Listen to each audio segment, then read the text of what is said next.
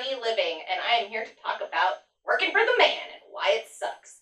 Um, I just, uh, when I started my business with Sunny Day Cleaning, I actually worked at the Olive Garden as a server.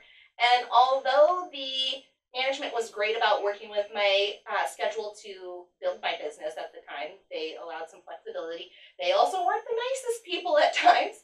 Um, there were times when I didn't feel respected or valued or appreciated, and quite frankly, I felt like a piece of poo under somebody's shoe, and that's not at all how I wanted to feel. Um, and quite frankly, the clientele there did much the same. Um, if you've ever worked in the service industry, there are quite a few people that like to just basically berate and belittle their service and, and people, and that's just not fair or kind, and that's not how people should conduct themselves. And that's kind of an industry thing. You just have to kind of develop thick skin, and I was getting sick of that. I was getting sick of having to develop thick skin because people are so calloused and rude.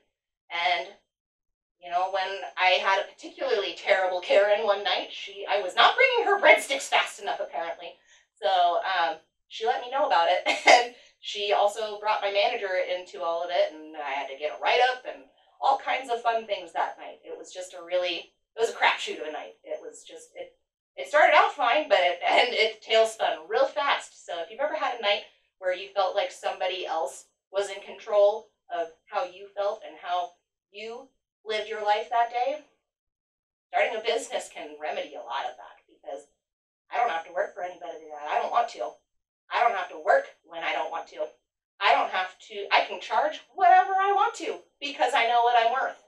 And I didn't know a lot of that when I worked at the Olive Garden because I don't think a lot of people ever teach you how to start a business. So that's what we're here to do.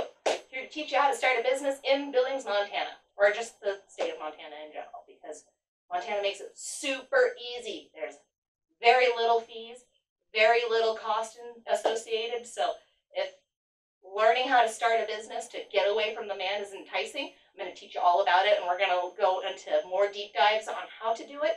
But for right now, I just want to talk about working for the man because for most people it sucks. I don't want to have to make somebody else's money. I want to make money that is in my house, not enriching somebody else's bottom line. So um, I think a lot of times there's just a stigma with starting a business. I think a lot of people think that it's really difficult.